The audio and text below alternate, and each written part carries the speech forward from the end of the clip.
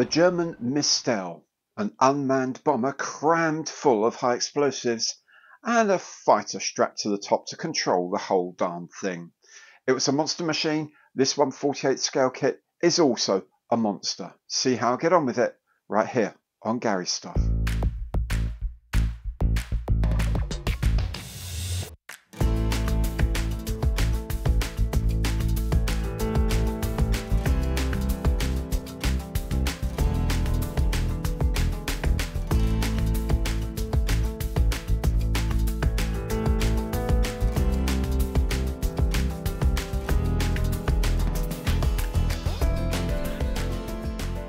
Hi there, I'm Gary. Welcome to my channel. Welcome back if you've been here before. Today, indeed, I am starting the build of the ICM 148 scale Mistel 1, essentially a Bf 109 fighter on top of a Junkers 88 bomber. Now, I am so much to do on this that I'm going to do the Bf 109 today, and the next video will be about the Junkers 88 and putting the whole thing together. Okay, so if you don't want to miss that other video, best thing to do if you haven't done so yet, subscribe to the channel, hit the bell, you'll get a notification of all my future content as it's made available. And of course, if you like anything on my channel, please do give it the imperial thumbs up on the like button below because every like counts. And if you'd like to make a more concrete contribution to the channel, you can do that through super thanks by becoming a channel member or by using any of my online affiliate programs. This kit was very kindly sent to me for free by ICM as a review sample. However, they didn't also send along anything like a script or a list of suggested bullet points or any of that nonsense. They, like you, just want to see this kit made and assessed in an honest way, and that's what they and you are going to get. So, we're going to make that BF109 first. Let's make a start on it. We're starting with the seat for the pilot that sits up and on top of these. Look, there's a little step at the bottom now. It sits on top of that.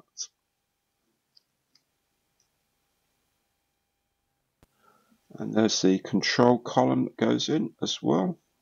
Yeah.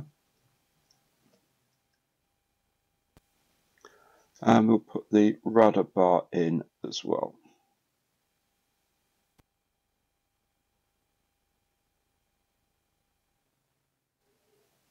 And finally, there's this little box on the side here. I don't know if it's like a radio box or something like that. You know, you'll have to excuse my lack of knowledge of the anatomy of a BF-109 cockpit space. But anyway, that's um, the beginning of the cockpit put together now. So we put this piece in first and make sure it's up good and tight in that slot because we're going to need to put the cockpit floor in now. And as we've discussed, it's quite a difficult fit. There we go. If you do your dry fitting, it will go on. It go on well. If you haven't done your dry fitting, you can have problems, trust me. So, there we go. It's on there then you can slot in the coaming at the top here as well. There's a little tab underneath it that should keep it at the right angle. You see that little tab underneath? Should do anyway. I've painted the instrument panel. It's um, in dark grey and then I've just painted the dials in black and then sort of drawn in little bits of white here and there just to make them look like instruments. A couple of red bits, a couple of yellow bits, and some white switches and things like that.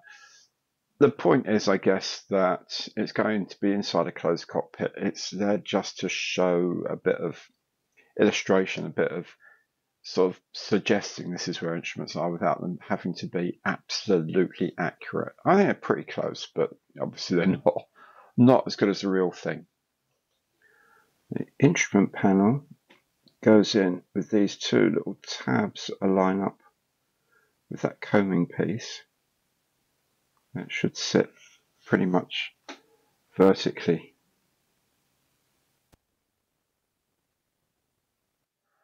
Right, so next step is to make the engine. Now, the engine on this kit is really good. It's fine. It's it's lovely. It's it's well molded. It's easy to detail. It looks pretty good.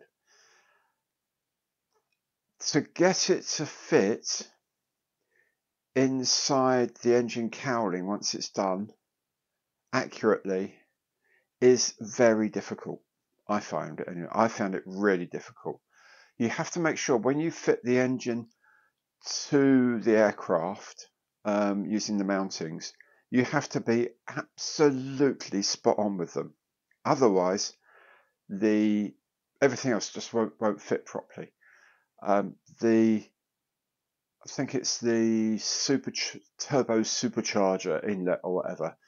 I'm not sure exactly how that's supposed to go in, and if it doesn't go in just so, it's really difficult to put in the machine guns with their magazines. Um, and then that sort of impacts on putting the machine guns in place with the top fairing, top of the fairings, which is obviously where they, they sort of poke through. Um, also, if you are going to do an open uh, open engine, rather, do be aware that where the part for the cowling ends isn't where the engine cowling ends. It ends slightly higher, so you've got to cut up a little bit higher around where the um, exhausts are, fit the piece around the exhaust, and then fit the other half of the cowling as up. This is all if you're going to do this. Now, if you're not worried about the engine, if you're not going to have an open engine, and I'm not on this plane because it's, you know, sort of, God knows how many meters up in the air, on the ground, if you see what I mean. The best thing to do is not to worry about the engine at all, to build the cowlings, all of the cowling parts still, put those together and then put those onto the fuselage and it works. It works really well. You can feed bits of the gun barrels into the um, into the gun ports if you want. That's fine. You can build a bit of the engine and don't put all the ancillaries on it. Um, but again, you're still going to have to get it absolutely spot on. And it's really not that easy. I don't find it that easy at all. On the Junkers 88, as you'll see, piece cake, not a problem. So just a fair warning, if you're going to make the engine, um, I would suggest making the engine only if you're going to do an open-engined aircraft. Otherwise, don't bother. Just put all the cowlings on and take it from there. Anyway, if you are going to do the open engine, this is how you make the engine. We're going to make a start in the engine now. The two bottom halves of the engine is like the sump end, if it, in a normal engine anyway, because these are inverted, but the crankcase, how about that? They go together. Um, there's no pins, so you've got to make sure they line up yourself. No alignment pins there. But there we go. Let's put them together a touch of extra thin to get them set up and then we can let them dry. Then the oil top of the uh, crankcase is here with the oil filler. It goes on top like that. There are two sort of cylinder banks. Each one goes together like so. And then just glue it up. Then for each cylinder bank you have a rocker cover that goes on. So now according to the instructions um, you've got these tabs at the end here and they fit into slots on there. There aren't any slots so you've got to remove these tabs first and just hope that they sit roughly in the right place. It's a bit of an odd thing onto the engine uh, ancillaries at the back end and they just go on. Now, you might be looking at these thinking, I'm not going to be having the engine on view, so why on earth am I doing this bit? Well, the reason is this little post here connects with this little post here in the fuselage. So, you know, that all goes together. So these bits you need. The, the other three bits that you do at this point, you don't need. But this bit you have to put on because of that mounting position there. So there's a little um, cover. Goes here.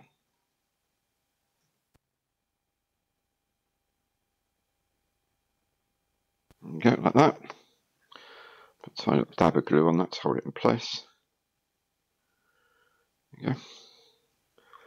there is a bit that goes on the top over here. Allegedly.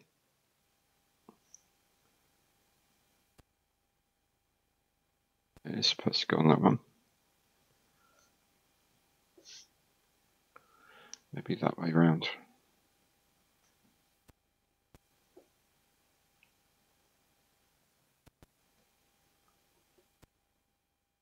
Like what the instructions say, I think it goes on that top one.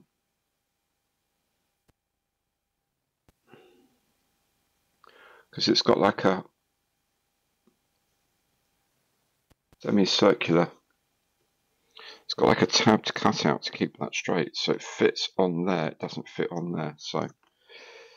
There we go. That's one for the instructions. Are wrong. And this little peg goes on the back here again. Not critical unless you're having the engine on show I would say And these three pegs here line up with the hole, if you like, on the back there. There we go. At the front end, there's the gearbox for the propeller. It goes in here, like so, and it just sort of goes together like that. Then when it's ready, it goes onto the front of the engine like so.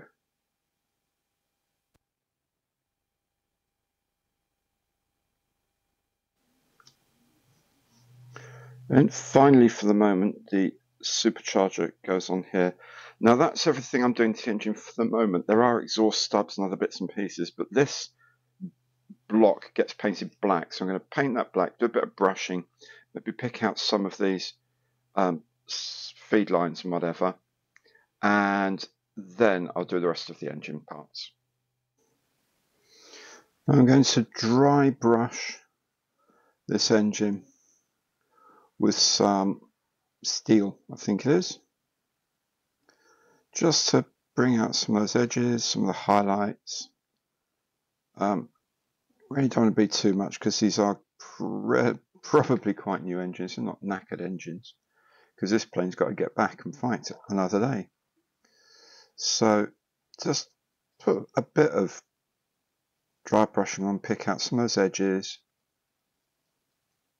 It'll look better once if you're going to have the um, hood open, which we are with this one, then uh, it will look better as well. I'll just cut off the um, exhaust with a supporting frame uh, off the main frame just for a while so I can put on the flame guards on either side first. Two, three. One slight thing to note is that this part number is wrong. That should be C31 because C29 is the wrong um, stack, exhaust stack. It's C31. Let's go with C30. I've uh, painted the exhaust stacks in burnt iron the flame cover in black and it goes on the side of the engine. Just there. Yep. and there's one on the other side as well. There's these bits that go on the side apparently you paint them interior grey first. I don't know if that's right or not but we go, they're going on. The engine mountings can go on as well. They go on these two pegs here. Like so. Then the cockpit can connect to the engine and there's a sort of peg and a hole here and then there are these two holes up here for the engine mounts. Just forget what we're dropping for a minute. Set off there.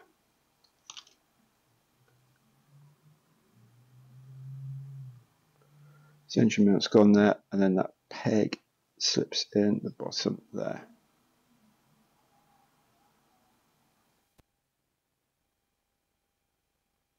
There we go, like that. And then there's this support arm that goes in here.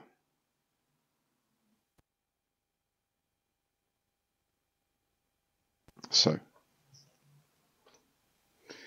the nose guns go onto these, I guess they're magazines. Look like magazines. So.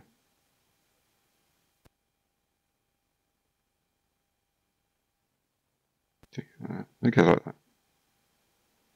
That makes more sense. Like that.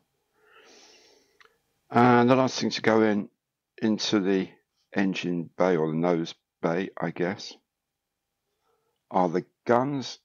These fit just in like this. Right, so that's that. So let's now paint the inside of the cockpit and then we can put the two cockpit halves together. And then the two halves can go together and we'll there aren't any pins to ready to locate them so just locate them best you can um, then um, tape them up that's what I was looking for tape them up there's a huge ridge of a seam here. That's going to have to go as well. Um, but tape it up for the moment, let it uh, set, and then we'll go about sorting out everything else. Right, so the thing we have to do now is we need a couple of holes drilled here for the um, supports because this is the Mistel aircraft. Um, we are provided with a diagram. Um, whether we can actually measure 15.1 millimeters to that accuracy, 11, I'm going to make it 15 mil and 12 mil. Any inaccuracy will be taken up by things like the plastic. So it's 15 millimeters from this front end, which makes it about there. Draw a line roughly across there and then it's oh, 11.9 millimeters, so 12 millimeters from the center line. We just extend this um, this piece here is on the center line, so we just extend that down to there, and then 12 millimeters either side of that. So put that at 10, so it's 12 there. 10. That's 12 there. That's 7 actually. There we go. So, we are just inside these these markings here. So that's where we're going to put them. And they're 1.2 millimeter drill holes.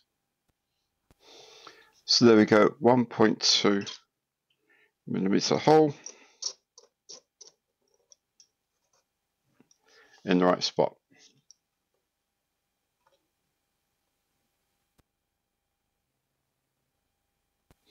I say, achieving a 0.1 millimeter accuracy, so a twelfth of the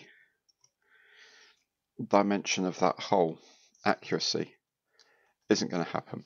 So that's going to be close enough. The base of the wing, the bottom half of the wing, slots into the underside of the fuselage like that. And then there's a couple of uh, tabs at the front here that meet up with it to complete the bond. Okay, so I'm now going to glue the front end of the engine cowling together first. This is the bit that goes over the propeller shaft right at the very front, so we'll glue that first. The front of the radiator element goes into the, this is actually the underside of the top of the radiator housing. I'll show what I mean a bit later.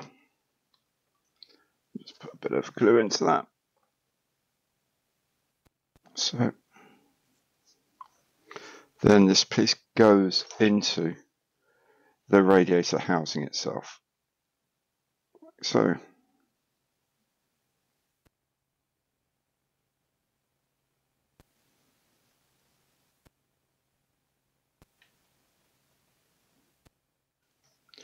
Right, so I've got the front pieces and the two top pieces in.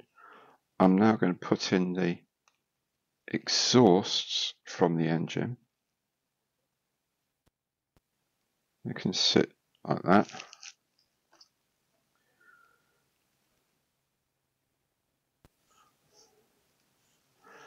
Then the radiator can go on top of those.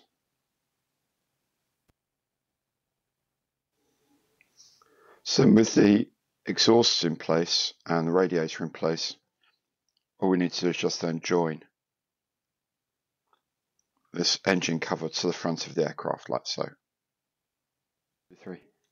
The wingtips also slot in like so.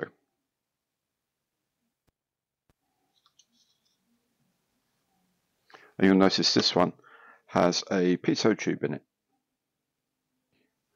The air intake for the carb goes on here. Uh, we'll probably put a, uh, a dab of glue on here first. Then put the air intake on because it won't go on otherwise. The carburetor air intake goes on just here. To the upper part of the radiator flap it goes in here. It's, they say to do it all in one piece and slot it in. I find it easy to do it this way around.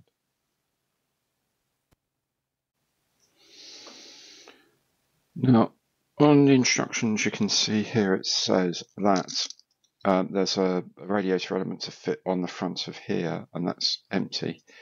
But you can see this is actually filled in. It's quite a substantial moulding. It's not flash. So I guess if you want that, then you have to trim all this off completely, or just paint that in um, burnt iron or metal or something. Then when you're ready, slot the lower half of the radiator cowl flap in like so.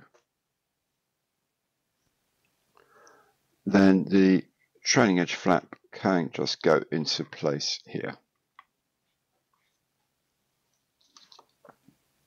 On the leading edge of the wing outboard here is a slat. That's really important to remember that this is like a spring-loaded device on the real plane. And if you have the aircraft parked or, you know, or um, in a very tight turn, then these slats will be deployed because the idea was that they would deploy automatically at lower speeds. They would pop out. Um, or at uh, high combat maneuvering, whereas normally the airflow would push those back into place. So if you're showing it sort of cruising along or chattering along at full speed in a straight line, then those can be retracted. If they're turning hard or on the ground, parked on the ground even, these will be deployed. The rudder just sits easily enough on the end of the fin, like so. One, two, three. And the tail planes, horizontal stabilizers, if you will, just slot into the sides. Okay, I'm going to fit the, uh, the gun sight now into here. let that dry, paint the base of that black. Then I shall put the the windows on, but I will mask them first before they go on.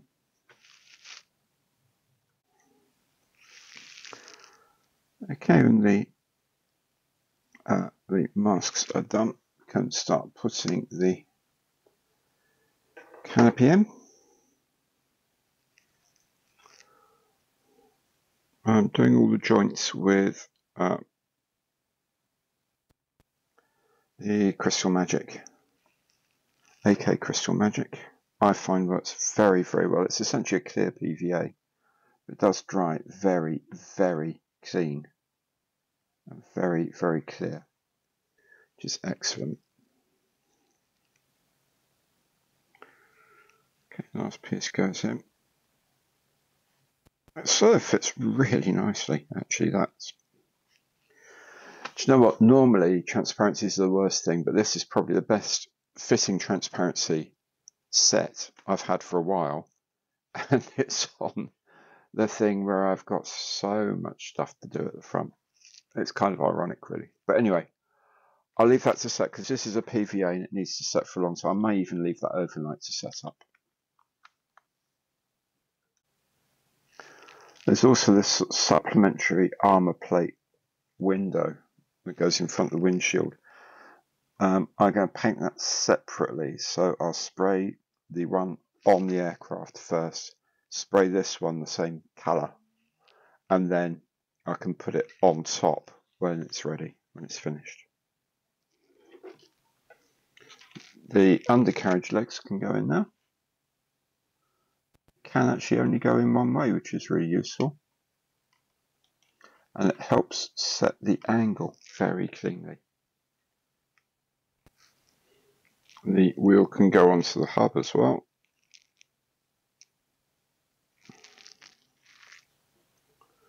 Then the doors can go on as well. They, there's a little tab which sort of engages with the leg.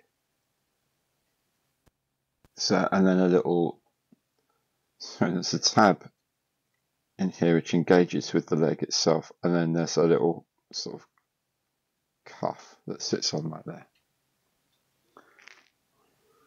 And at the back of the aircraft, the tail can go and don't put it in the hole you've drilled for the support for the Mistel.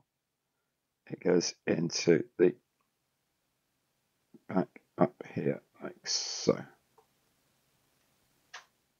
The propeller sits on this sort of sculpted back plate, if you like. Sits on it very, very well. Then you just slip the spinner over the top.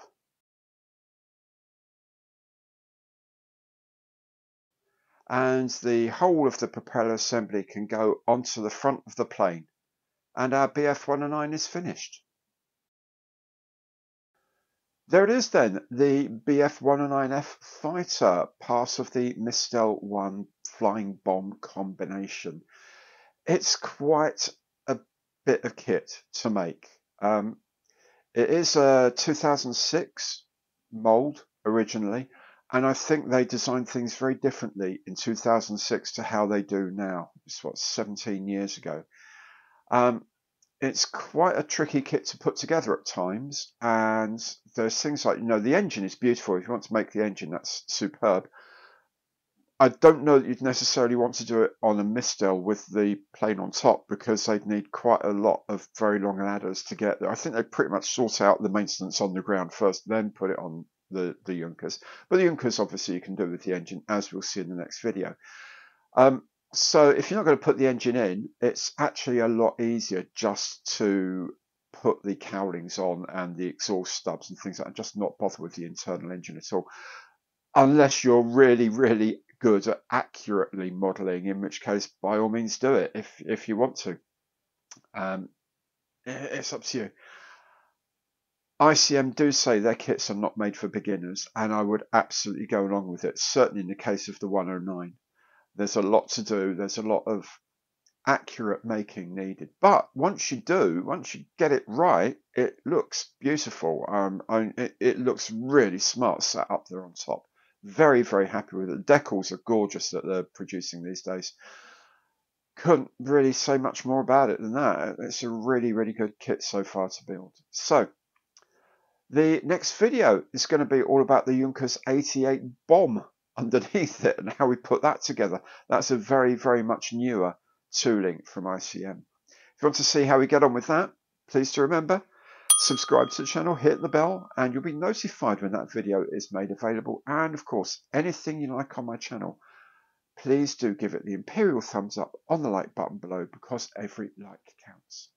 Thank you so very much for watching. Hope to catch you again very soon. Take good care now and goodbye.